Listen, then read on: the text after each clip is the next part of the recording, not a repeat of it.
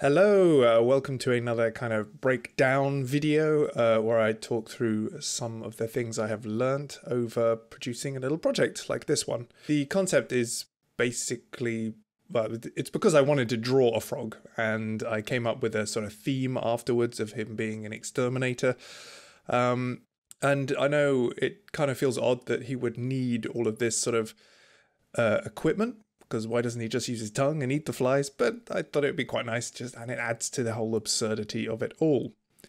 So I drew the little sketch on a Surface Go on the Leonardo app, which is fantastic, and I've also been doing a little bit of sculpting on the Surface Go and found it. Yeah, it's not the smoothest experience in the world, but it is pretty capable, and I think I'll be doing more of that in the future because it's just super portable. Okay, with the drawing done, it was time to sort of plonk down some primitives and kind of just sort of mass out the form using um, subdivisional surfaces as well and taking advantage of the skin modifier for the legs and arms. So you can just kind of use edges to um, pull out nice sort of thin limbs and then converting everything to mesh and jumping over to the sculpt environment.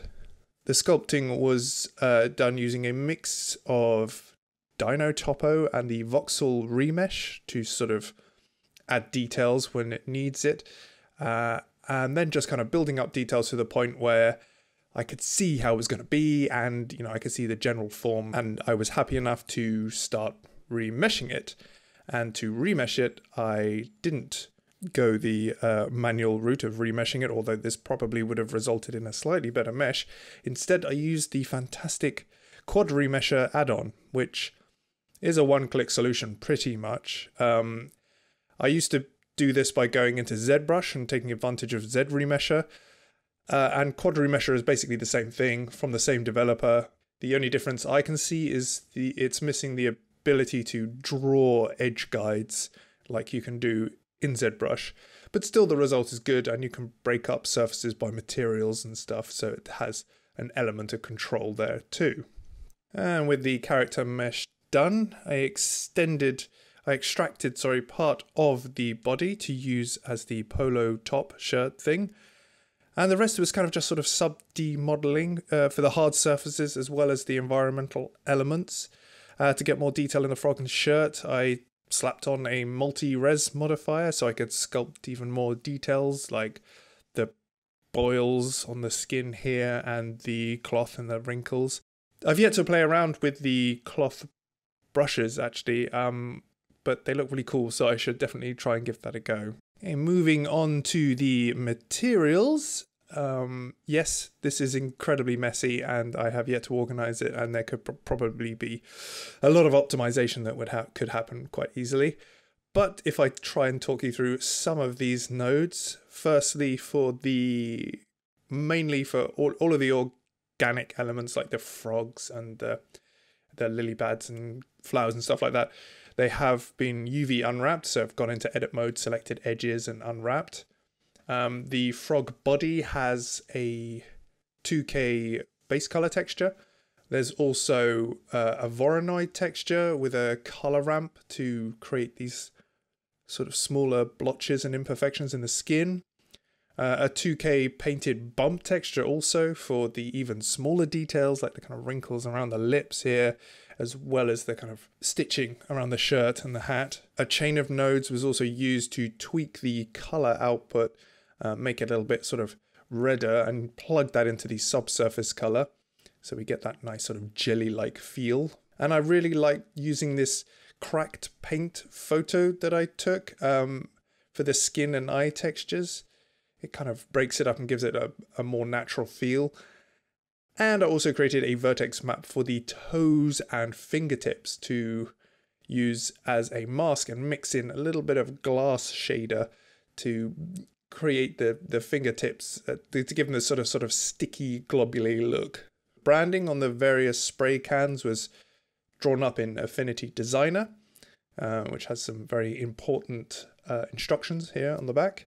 There was some volumetric shading going on as well, uh, some ground mist here with the density fall off being driven by three empties, as well as procedural noise to just break everything up a bit. Uh, there was steam also coming from the spout here, um, which had a spherical fall off, and uh, a kind of S shaped flow being displaced by um, plugging in uh, RGB color to the vector input. And that moves us on to the lighting, which was mainly a sun lamp for the key light being pushed through what I believe they call gobos. But this is basically just a an alpha stencil of a tree. Um, in retrospect, it would have been quite nice to animate this, but uh, yeah, you know, maybe next time. There's also massive black blocks, which you can see here, which are to occlude the light even more, and a little bit of a light just behind the character to create this sort of nice room light and bring it out from the background a little bit more. Rigging wasn't too complex. Automatic weights worked well for the legs and arms as they were quite sort of thin. Uh, and then some manual weight painting was required around the head and torso. The hard surfaces were parented to the nearest bone in the armature, and um, some of these are curves also, so the curve points, control points, like in the pipe and the strap here, were hooked to the bones also, with the exception of one being hooked to an empty, so I can sort of animate the wobble.